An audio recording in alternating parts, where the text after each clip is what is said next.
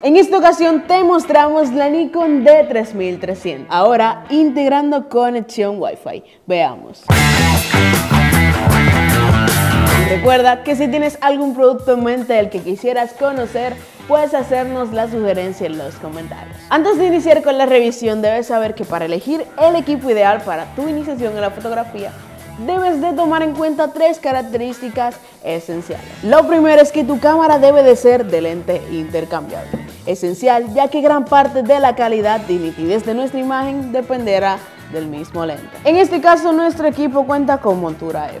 Para colocar nuestro lente debemos de tomar en cuenta la alineación de ambos puntos blancos. acá alineamos y ajustamos. Lo segundo es que nuestra cámara debe contar con un modo manual. Esencial ya que este modo nos permite modificar los parámetros de nuestra cámara ya sea entre ISO, velocidad o apertura. En tercer lugar tenemos que nuestra cámara capture en formato RAW, muy útil ya que a diferencia del JPG, este formato nos brinda más datos de información lo cual será bastante útil para la hora de edición o de revelado digital. Siguiendo con algunas características de la Nikon 3300, apreciamos que esta cuenta con un flash integrado. Para liberarlo, tenemos que ubicar este pequeño botoncito indicándonos por medio de un rayito, presionamos y disparamos.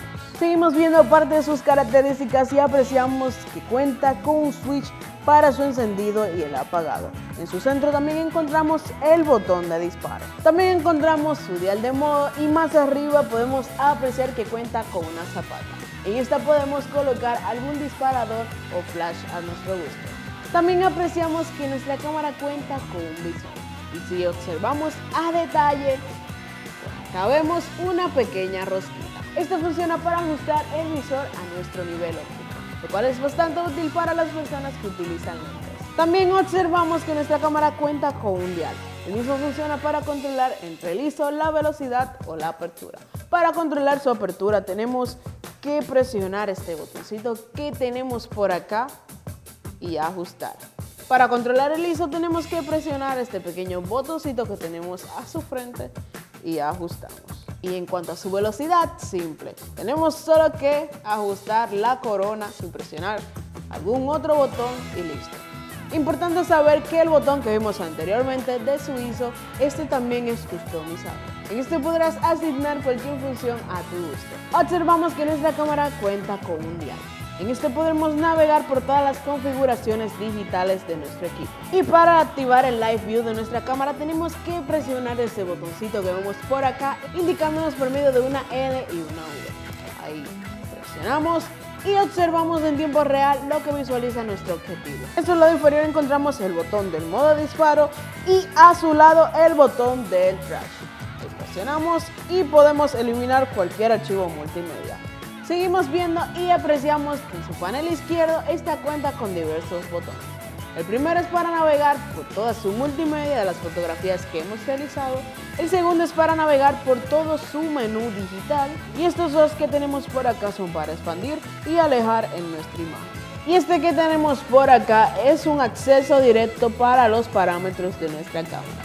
Entonces vamos a apagar nuestro equipo para apreciar el tipo de batería que este utiliza.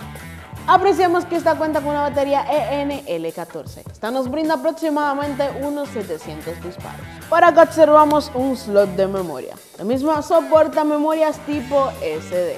Viendo parte de sus conectividades, observamos que esta cuenta con HDMI mini más arriba un micro USB nativo de Nikon, el mismo funciona para la transferencia de datos. Más arriba encontramos una salida de audio por medio de mini jack 3.5 y por último tenemos una conexión para disparadores remotos. Vamos a sacar su lente para poder observar su sensor CMOS de 24.2 megapíxeles. Y en el apartado de su ISO, esta nos brinda una sensibilidad entre 100 hasta 12800 expandibles hasta 25.600. Otra de las actualizaciones es que este modelo lo puedes conectar al Wi-Fi o algún dispositivo. Importante saber que para ejecutar esta función necesitas adquirir un módulo. A la hora de grabar este video, este modelo lo puedes adquirir de medio uso a partir desde los 240 dólares en eBay.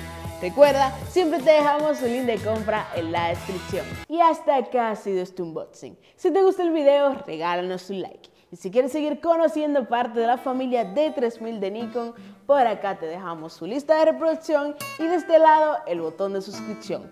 Porque recuerda, creamos contenido justamente para ti todos los días. Hasta la próxima.